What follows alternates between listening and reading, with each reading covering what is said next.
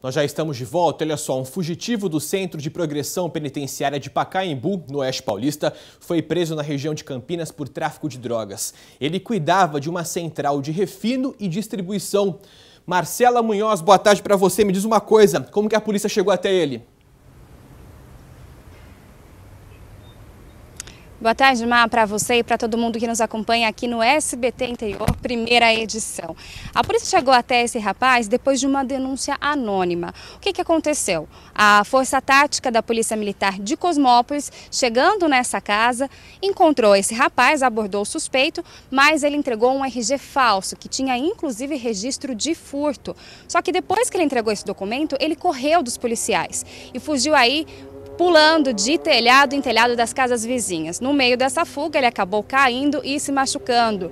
Esse foi o tempo suficiente para a polícia descobrir que, na verdade, esse suspeito é Daniel José Pereira.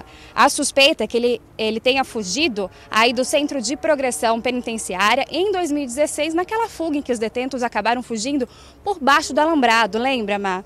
E, enfim, a, o fato é que depois dessa fuga, ele veio para a região de Campinas e abriu aí um centro de refino de drogas. Nessa casa em que ele ficava, foi encontrado várias passagens secretas para outras casas e também para outras chácaras ali da região, além de várias balanças de precisão, mais de 2.300 pinos de cocaína, vários celulares, 8 mil reais em dinheiro e também outras drogas. O total, ele disse para a polícia que receberia aí pelo menos 100 mil reais com a venda dessas drogas. Agora, o suspeito foi preso, deve voltar aí para a região de Presidente Prudente para terminar de, de responder aí pelo, pelo crime que ele já respondia e também agora pelo tráfico de drogas, Vilmar.